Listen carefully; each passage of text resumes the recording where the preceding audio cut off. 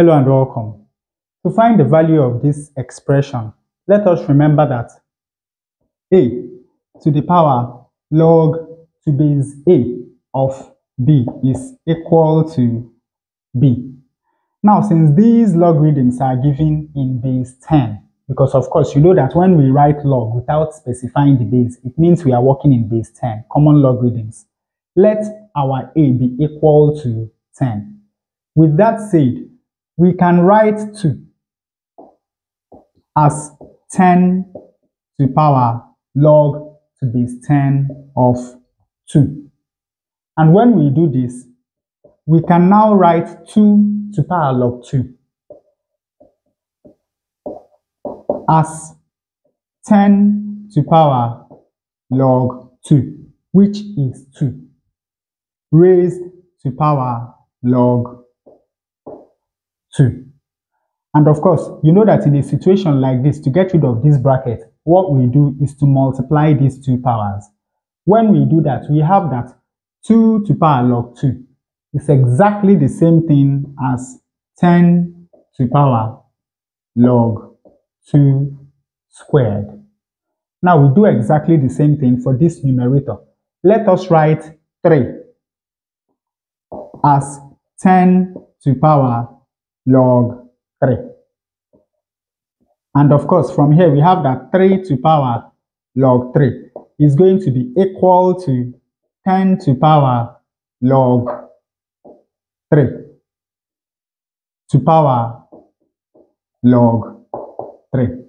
And of course, once more, when we remove this bracket, we have that 3 to power log 3 is exactly the same thing as 10 to power log 3 squared. Now, the next thing we are going to do is that we will replace this numerator and this denominator with these two numbers. When we do that, this expression is now going to be 10 to power log 2 squared divided by 10 to power log 3 squared to power 1 over log 3 minus log 2.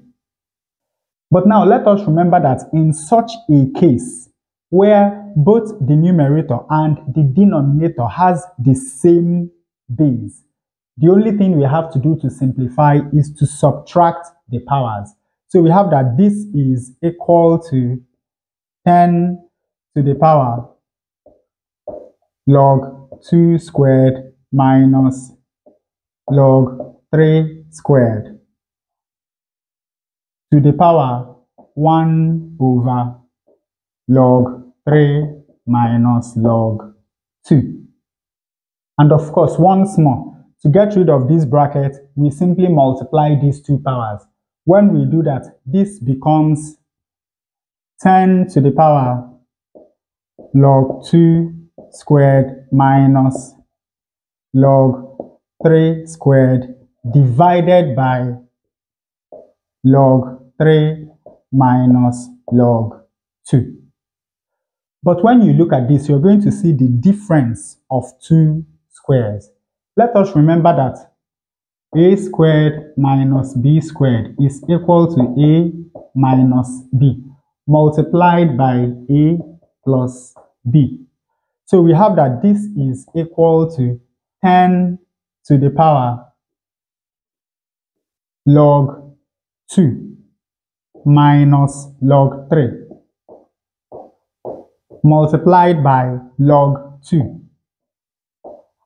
plus log 3 and this is divided by now let us look at this or this you know that we can write this denominator as minus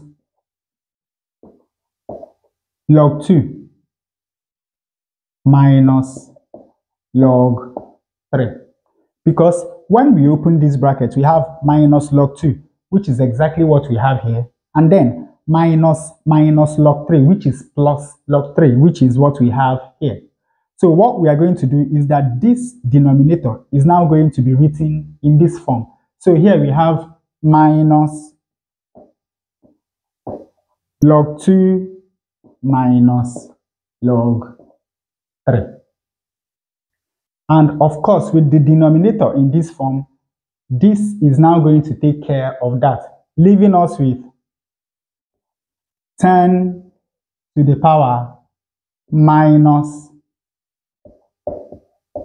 log 2 plus log 3. But now let us remember that log A plus log B is equal to log A times B. So this is the same thing as 10 to the power minus log 2 times 3, which of course is equal to 10 to the power minus log 6. And of course, you know that this exponent is exactly the same thing as 10 to the power minus 1 multiplied by log 6. Now, what we are going to do is that we will apply the power rule of logarithms to this exponent. We are going to take up this multiplier, which is minus 1, to become the power of 6.